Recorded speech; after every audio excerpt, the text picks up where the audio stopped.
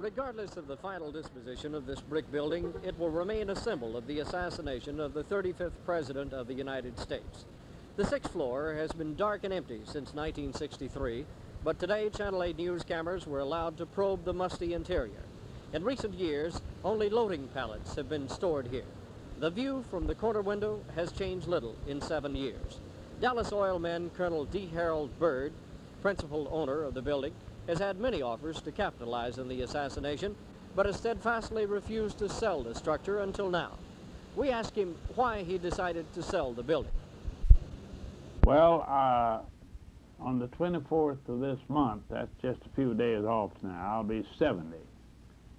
And I've worked pretty hard all my life, and what little I've uh, uh, saved up, why, and uh, acquired, I'd like to uh, take it a little easier now and spend a little more time fishing. I'm diversified in a lot of different things, and uh, I'm selling uh, a lot of my some of my real estate right now. I would like to see the uh, it uh, put to some commercial use rather than to a monument. Uh, I don't care anything about uh, capitalizing on this tragedy because Dallas is good place to live and lovely people, and I don't like to have them associated with that tragedy is more impossible.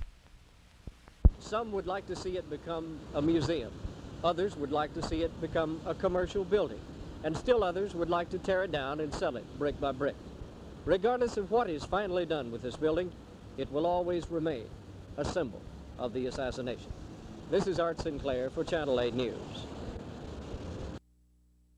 We also take this opportunity to remind this nation to see that no exploitation of our laws according to this historical building will be used in the name of Lee Harvey Oswald unless it is definitely proved that he did indeed assassination, assassinated President Kennedy.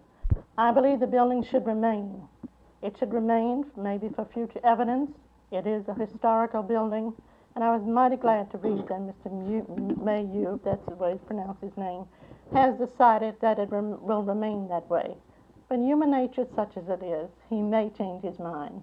He may sell it so it will be exploited. He himself may decide to exploit it, and this would be a grave injustice to our nation as a whole.